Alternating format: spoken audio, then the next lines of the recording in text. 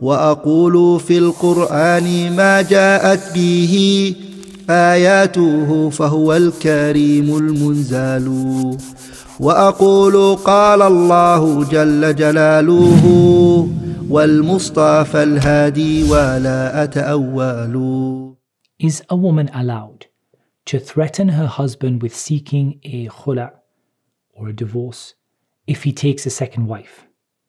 What should a man do in this instance if he wishes to marry again but fears leaving behind a broken family? Alhamdulillahi Rabbil Alameen wa salatu wa salam ala abdillahi wa rasulih Nabiyyina Muhammad wa ala alihi wa sahbihi ajma'in.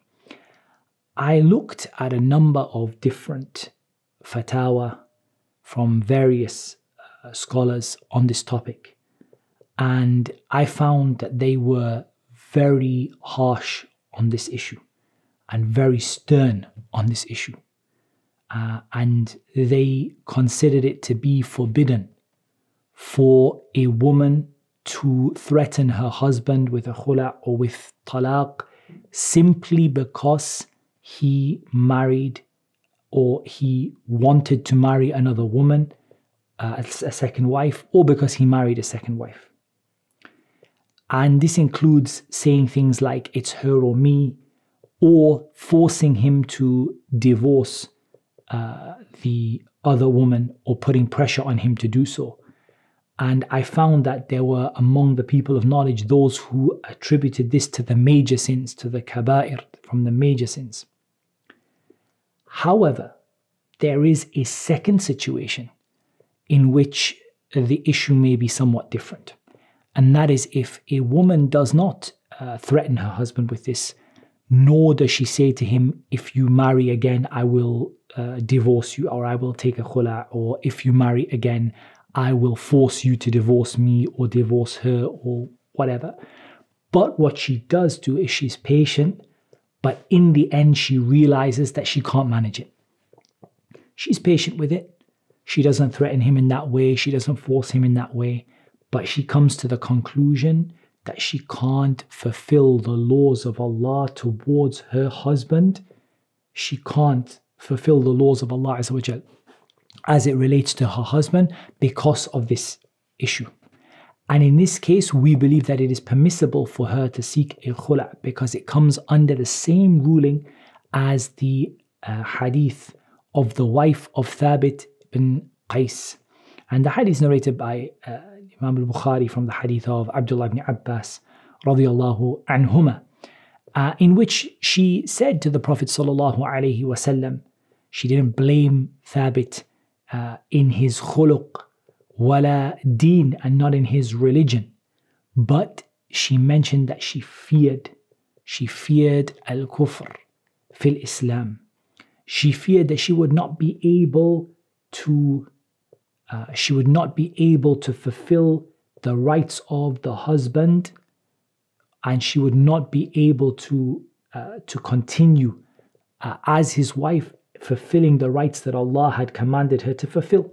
So the prophet ﷺ allowed her a khula for this and it wasn't because of a second wife but the, the point is that if a woman reaches such a stage where she reaches a stage in a marriage where she says that because of certain things that have happened I can't fulfill his rights anymore. And I fear that I'm actually just earning sin in the sight of Allah. Then she has the right to go and ask for a khula, and it becomes the matter of the judge to decide if they need counseling or if it's a khula that they can be given immediately or whether there could be some reconciliation. Then that comes into the matter of the judge who may well give her advice and tell her to be patient and tell her to, you know, to, to try and give it time. But ultimately, the end of the day, if the matter reaches that extent without her threatening her husband and without her pressurizing him, saying, okay, I will try my best to be patient. She's waited, she tried, but she couldn't manage it. There's no doubt that, that, that being a co-wife is not an easy, it's not an easy thing. It's not an easy thing for a woman to manage, and it's not uh, something which is easy for her to bear. So a woman might say that I am earning I feel like I'm earning sin now instead of good deeds because this marriage is not bringing me nearer to Allah, it's pushing me away. Uh, and the thing that's pushing me away is I'm not able to fulfill my husband's rights without blaming him for what he did because what he did was not haram. Uh, so that is, you know, that's one thing to bear in mind. It's also really important. Uh, the question or part of the question mentioned the issue of a husband fears that if he were to marry again, he would be leaving behind a broken family.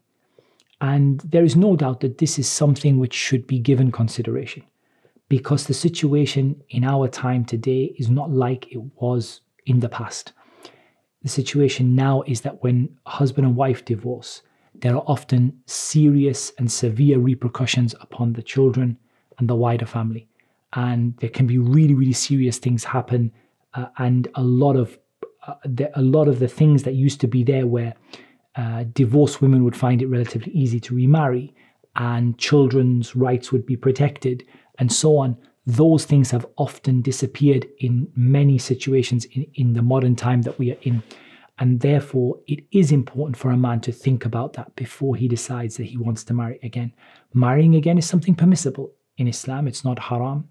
And it may be obligatory for a man if he fears for his religion and he fears that he will not be able to stay within the limits set by Allah. That, that, that could be a situation but he does have to think about the consequences.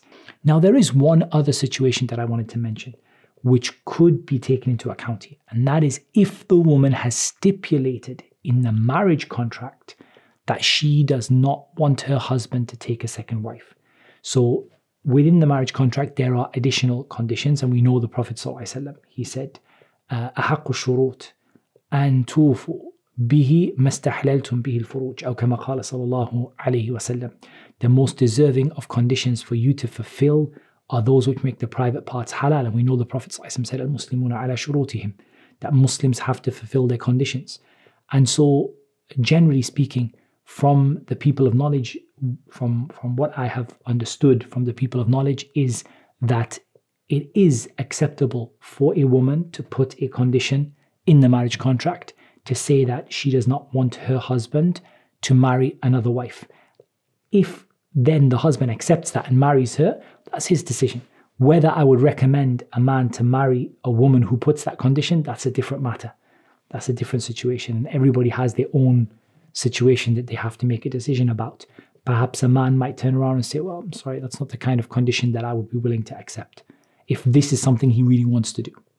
But in any case, and if he were to agree, uh, then she would have the right to dissolve the marriage. She would go to the judge and to say to him that I had made a condition and my husband had agreed at the time of marriage that he would not marry again. He's married again. Therefore, I want to exercise my right to cancel the marriage because he has broken one of the conditions of the nikah which were agreed upon.